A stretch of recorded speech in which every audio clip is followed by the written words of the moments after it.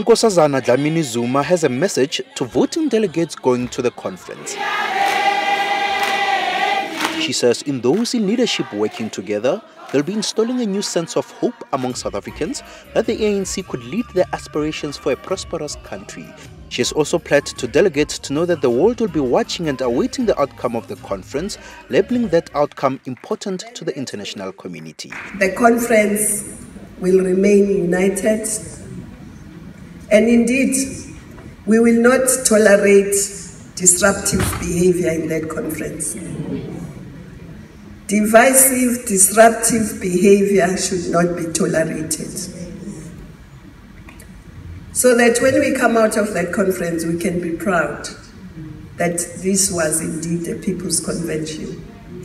That indeed this is our glorious movement, which does not belong to us, by the way. That's why it's called the People's Movement. It's not ours. We are privileged and honored to be members, but we have a responsibility from our forebearers. Future generations must still inherit this organization.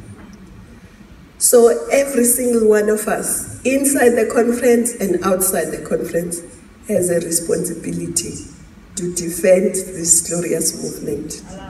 Dlamini Zuma has also denounced factional politics, saying it sets back the restoration of the party to unity. She also assured those here that her campaign will not be involved in any vote buying, which the ANC has already warned against. Now we leave it to the delegates who love this organization, who will not sell it for money.